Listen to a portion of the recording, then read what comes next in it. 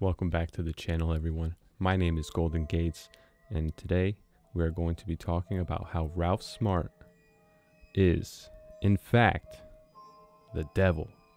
Ralph O. O'Crafu Smart, better known by his YouTube channel, Ralph Smart, or Infinite Waters Diving Deep, a British psychologist, life coach, author, and YouTuber. He has over 1.6 million subscribers and over 223 million total views. All we have to do is go to his YouTube channel and look at his video thumbnails. We are not going to watch any of his videos or dive deep like he says. I don't want to taint myself or you with his sins and dangerous psychology. Now that we're on his YouTube channel, you could just clearly see that he is just spreading his message of blasphemy all throughout his thumbnails. Who knows what's going on in his videos? But we can clearly see, even in his latest video, the COVID prophecy, where he's wearing a very stylish shirt, but he's holding his arms in an X and he's outside in nature. You know who else is outside in nature? A bunch of savages and a bunch of hippies too.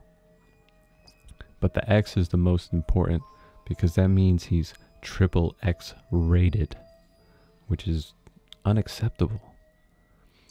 And then he's got messages to highly sensitive people.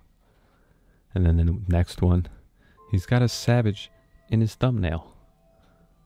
And then, oh, and then he's entrancing his audience, just m- manipulating his audience, spreading his message of whatever he wants. And then his next video, it's like they go in order. It's like perfectly in order. It's a trap. He's setting up a trap for you, setting up your spiritual awakening trap. And look, there's the savage again. Don't wait. Just sell your soul. That's what he's saying. It has to be.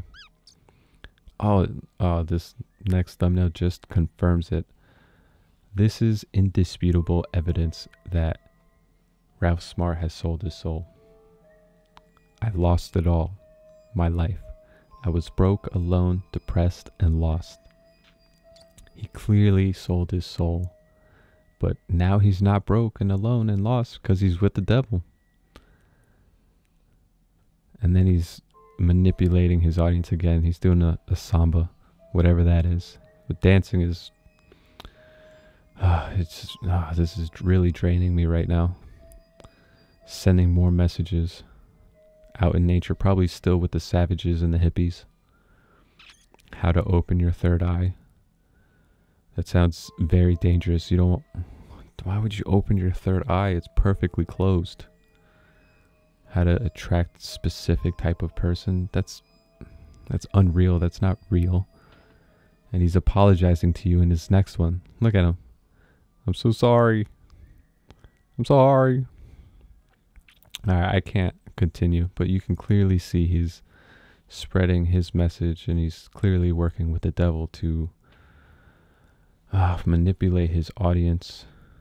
It's just terrifying. I need okay so this is actually how some people are in today's society. They take what they don't understand and they deem it as stupid. Okay? And then in religion, they take what their religion deems as blasphemous and they categorize that as ungodly or works of the devil. Now, I'm not here to slander anyone's religion or faith. This is just my objective observation. Now with this video, I would like to build a bridge of understanding and bring us all a little bit closer, even though we have different ideas and different faiths.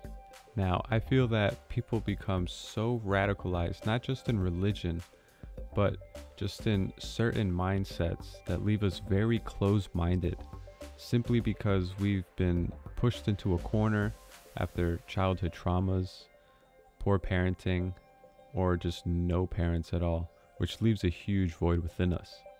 So, with religion, that void becomes filled with the love and comfort with the teachings of the Bible, which then exponentially increases one's faith and then becomes the forefront of one's being, which leads to a closed minded mindset.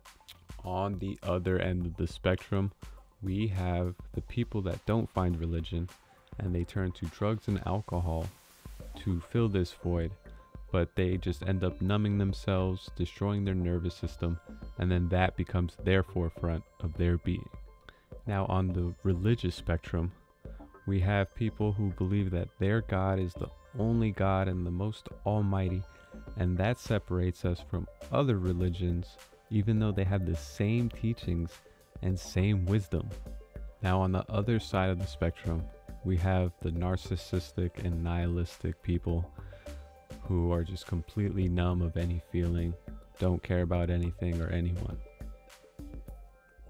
So, this begs the question why and how is this happening?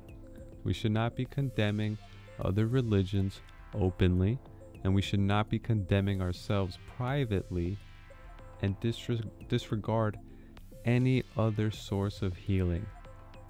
Which brings me to my conclusion. Ralph Smart and many others like him, including myself, are simply messengers. We can only show you the doors. It is up to you to walk through them. At the end of every day, we are more similar than we are different. We all work hard, we all study hard, we have loved ones who we care for and wish the best for. We're all fighting battles that we don't speak about. Let's make things even simpler. We all eat. We all sleep. We all drink water. So let's not make things any harder. Because at the end of the day, we're all mortal. And we share this gorgeous planet together. Go to any other planet? Mm-mm. They ain't got nothing on this one.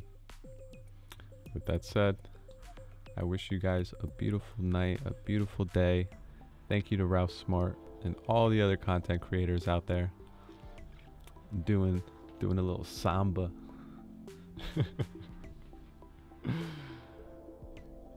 I'll see you guys in the next video. Peace.